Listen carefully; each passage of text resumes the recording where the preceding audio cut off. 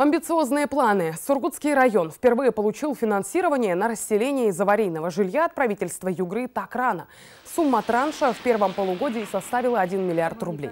Еще 11% добавит муниципалитет. Всего на территории района непригодными для жизни признаны 860 домов. Из них 425 в аварийном состоянии.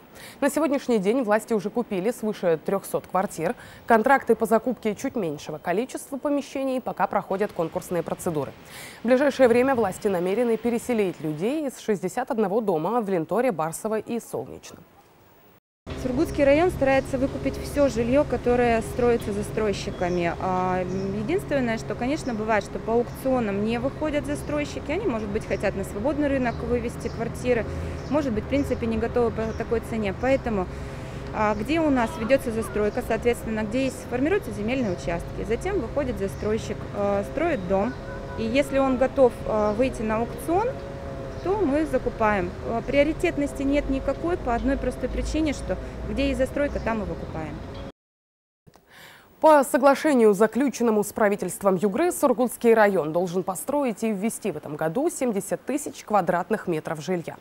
Запланирована в муниципалитете и большая программа по сносу деревяшек. Из 235 балков на сегодня осталось только 7.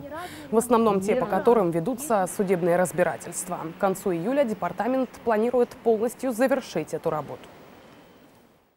Приоритетным в этом году является снос а, тех домов, которые расселены были по адресной программе, признанные а, аварийными до 1.01.2017 года.